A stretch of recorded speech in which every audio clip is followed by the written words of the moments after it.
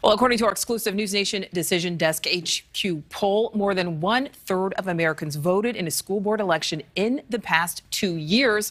But when it comes to how much control parents should have over what's taught in public schools, more than 60% of respondents say that parents should have either a lot or a moderate amount of control. Correspondent Brooke Schaefer is live in Miami. And Brooke, why do parents seem to be voting more than ever before on education as an issue? Well, Nichole, education issues have really come into the national spotlight, so a lot more people are paying attention. Still, experts say votes like a school board vote, yeah, might not have the highest turnout, but the people who are voting are extremely motivated. From protest enough is enough. to angry school board meetings.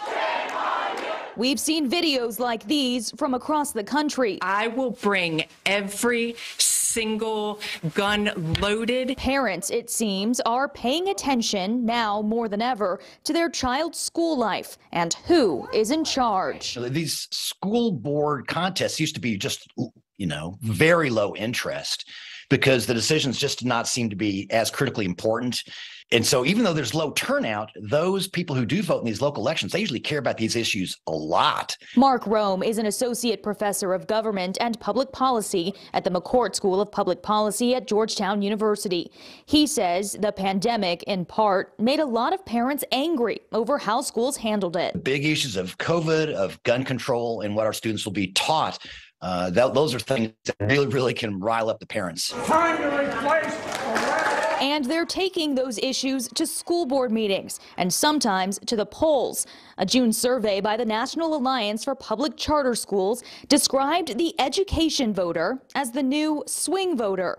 It found 82% of parents would vote outside their political party because of a candidate's education platform. I think that it says that parents are understanding their power in a way that they may not have understood before. Our education system has become increasingly dominated by national issues, and experts say those who are motivated to vote are even more motivated now. Those who care about their children's education, they will vote, they will turn out, and they will want to make the decisions about what is taught and how it's taught.